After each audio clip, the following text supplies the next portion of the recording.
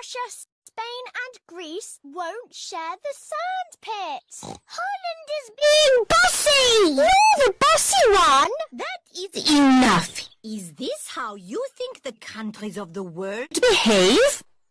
Um, don't they?